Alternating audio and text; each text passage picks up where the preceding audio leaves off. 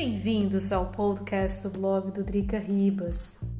E é o verão na Europa terminando, né? Hoje, 1 de setembro, o começo, vamos dizer assim, no calendário do outono e até mesmo nas temperaturas, né? As temperaturas baixaram bastante aqui em Viena. Agora que eu tô gravando esse podcast, tem um solzinho lá fora, mas infelizmente um ventinho. Aliás, muito característico da cidade de Viena.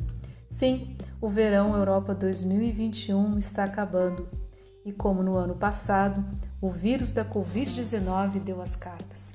A diferença é que este ano nós temos vacina, o que é muito bom.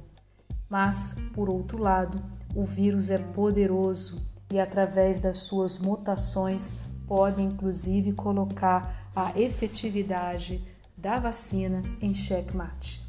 Cada mutação ele se torna mais poderoso e põe em risco a efetividade das vacinas. Aqui em casa, eu e maridão nos vacinamos, menos filhota que tem 10 anos. Para ela, ainda não há vacina, não somente para ela, mas para as crianças nessa faixa etária. Aliás, o que será um grande desafio, né? Na semana que vem, recomeça as aulas aqui do lado leste da Áustria, no caso Viena, Niederösterreich, estado da Baixa Áustria e Burgenland. E a grande pergunta que fica no ar é se com essa mutação ou possíveis mutações, porque agora quando as pessoas retornam das férias, não sabemos, tipo assim, a gente não sabe e não tem ideia de como continua.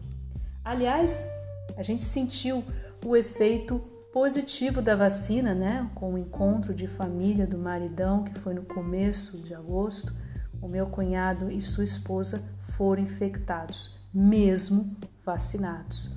Aqui em casa ninguém pegou, mas filhota, por não ser vacinada, teve que ficar de quarentena de 10 dias. Né? No caso, primeiro porque a família do maridão vem do estado de Vorarlberg, meu cunhado primeiro testou positivo com o teste do cotonete, depois fez o teste do PCR, o teste do gargarejo, também deu positivo. Aí as autoridades do estado de Vorarlberg entraram em contato comigo, com meu marido, passaram as informações para as autoridades aqui em Viena, que nos contactaram também. Como eu e meu marido somos ambos vacinados, né? Somos considerados contactos vai, quer dizer, K2 então, nós podíamos sair do apartamento, no caso, deixar o nosso domicílio com uso de máscaras FPP2. No caso da minha filha, né, a gente sabe que com as crianças ainda não tem vacina, então teve que ficar de quarentena 10 dias. Aliás, eu deixei de ir ao Brasil, deixei de ir ao Brasil justamente para evitar a quarentena e acabei ficando em quarentena assim mesmo. Bom, também não foi fácil fazer o blog, né? Durante o verão a gente teve assim um crescimento muito, muito grande. Seguidores, visualizações, curtidas. Aproveito aqui e agradeço. Muito obrigada pela atenção e pela confiança de vocês e espero é, agora a partir de agora tenho várias ideias e vamos ver se essas ideias elas se concretizem. No caso aí, com filhota em casa, tive que acordar bem cedo, tipo 5 e meia da manhã, para preparar os conteúdos do blog, mas o esforço foi compensado e, mais uma vez, um muito obrigada. O que esperar para o outono? Bom, vai ser muito desafiador, né? Quem está acompanhando aí o noticiário local já viu que deu aí a retirada das tropas dos Estados Unidos e NATO do Afeganistão.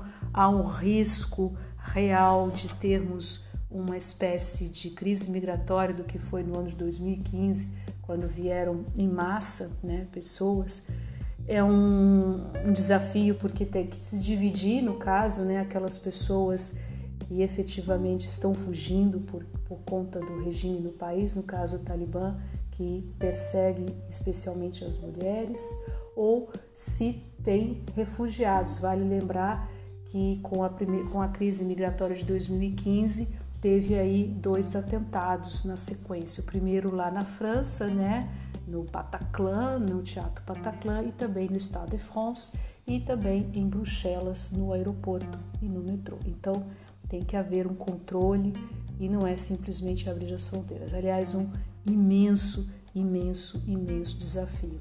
E claro, a questão do vírus, né? A pandemia segue. É, com o frio, as pessoas vão entrar nas suas casas, né? E aí o vírus gosta justamente de, vamos dizer assim, pessoas juntas, né? Como eu contei para vocês, como aconteceu no encontro de família, da encontro de família do meu marido. Então aí a gente vai estar tá com um imenso desafio pela frente. Então é isso. Eu espero que vocês estejam curtiram o verão, eu curti dentro do possível, né, mesmo na quarentena. E vamos que vamos, vamos seguir. Desejo, se vocês estão escutando hoje, 1 de setembro, esse podcast, muitíssimo obrigada pela atenção de vocês. Não deixe de seguir o blog, o www.ricaribas.com. Não deixe de seguir o meu diário eletrônico, o adrianaribasmaia.com. Agora, com retorno às aulas, eu espero também estar participando também no debate público, especialmente lá no Brasil, que a gente está vendo aí que a situação também, infelizmente, está bastante difícil. Tá certo? Muitíssimo obrigado pela atenção de vocês e tenham, tenham todos ou um bom dia se vocês estão escutando pela manhã, ou uma boa tarde ou uma boa noite.